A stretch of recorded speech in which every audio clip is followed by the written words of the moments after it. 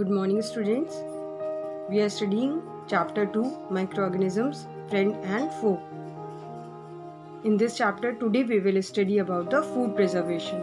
What is food preservation? What are the principles of food preservation? And what are the various methods used for food preservation?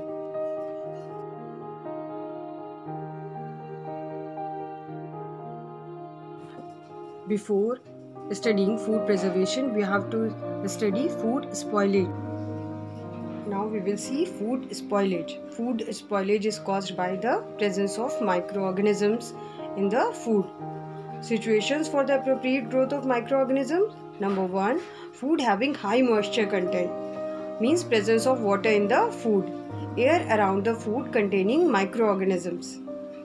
Foods kept for long time at room temperature skin of fruits and vegetables getting damaged, foods with low salt, sugar, and acid content. Presence of enzymes in the food also causes spoilage of food. Presence of insects, worms, and rats also causes food spoilage. They release various substances in the food which are poisonous for humans. So these also cause Food spoilage. Food preservation is a process by which foods like fruits and vegetables are prevented from getting spoiled for a long period of time.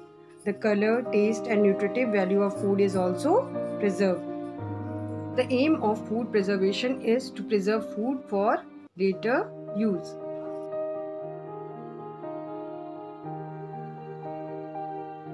What are the principles of food preservation?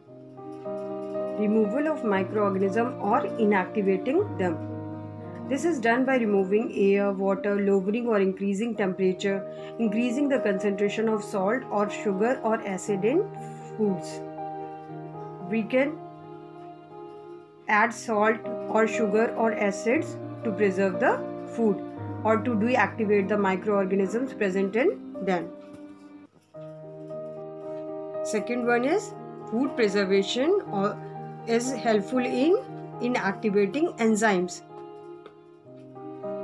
By changing the conditions such as temperature and moisture, we can reduce the activity of enzymes and thus the food can be preserved for a longer period of time. Number third is removal of insects, worms and rats. By storing foods in dry airtight containers, we can prevent the entry of insects, worms and rats in the food.